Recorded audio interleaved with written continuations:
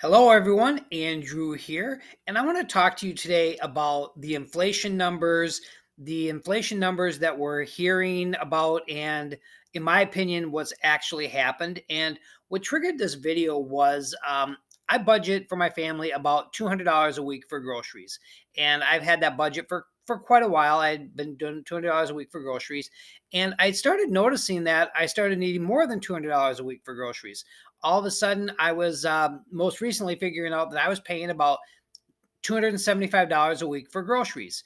And I keep hearing that inflation, you know, they said last month inflation ran at 13% and food inflation ran at 11% year over year.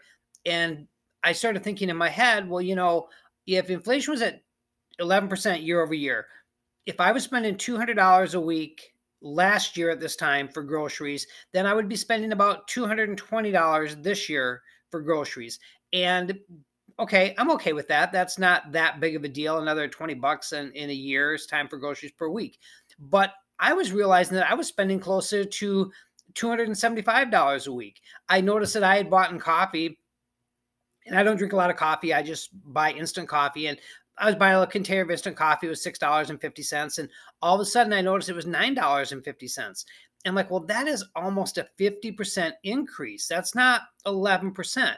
And I started noticing across the board, but that everything was a lot more than eleven percent. I thought, well, is this just me? You know, and I so I looked it up, and again, the labor of Department of Labor's Bureau of Labor Statistics says we're running 11% inflation year over year. And I happen to um, I save receipts for some reason. I have a business and I have business expenses, so I just save all my receipts. And I happen to save one of my receipts. It was from a year ago from a very large grocery grocery chain. I always go to one of the largest grocery chains because they tend to have the the best prices. So I started looking at this receipt from one year ago from the grocery store that I go to. And what I did was I went on their website. So I was comparing the same thing, the same store, the same items and try to buy I always buy the same brand as well. I'm very uh, set in my ways. I'm always going to buy the same brand. So I'm not going to talk about the brand names here specifically today because I don't want to go into too much detail because a lot of this is really my own personal experiences here and what I want to find out is are other people having the same experience because what I did was I looked at the prices I paid a year ago and what I did was there's a lot of items on this receipt but I only went for the items that were not on sale. So if I bought something that was on sale, I didn't go and look at the price of it today being not on sale and say, look how much it's gone up. I just, for example, bought butter at its regular price. Last year, butter was was three ninety nine, um, and this year butter was five eighty nine.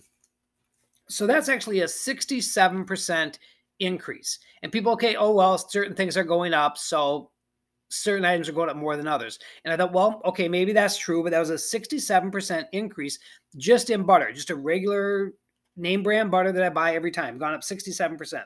So then I bought the same type of looked online at their price for the same type of milk that I always buy, and that had gone up uh, from 235 to 319. So that had gone up 73% and I went to chicken breast. One pound of chicken breast had gone from 369 to 649. That was a 75% increase. One of the uh, sports drinks that I buy that was last year everyday price, and for the longest time it had been this price, was 99 cents. Not only was it now $1.49, but it had gone from a 32 ounce bottle to a 28 ounce bottle. So there was also shrinkflation involved in that. Um, so that had gone up in price by 50% and gone down by four ounces in the amount that you were getting for it.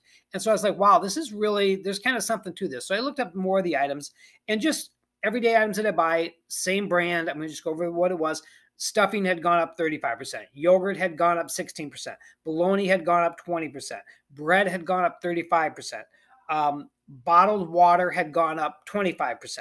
So I looked at that, and those 10 particular items last year when I bought them, just if I went to them 10 items, which are just random store items, they're not specific items, but they're everyday items that probably everybody is buying. Last year, the cost of them was $21.77.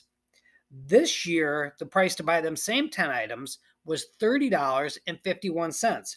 That's a 40% increase. So I don't know where they're getting this 11% inflation number from. And I think everybody, if you look at what you're paying for at the store in prices, it's gone up a lot more than 11%. These are just items that I picked at random. Then I went back through on the list and I couldn't find anything on here that had gone up only 11%. Every single thing on this list had gone up by more than 11%. And again, I didn't compare, like I bought a lot of stuff that's on sale. When it's on sale, I'll stock up on it. So I didn't check those ones at all, what those prices were today compared to what the sale prices were.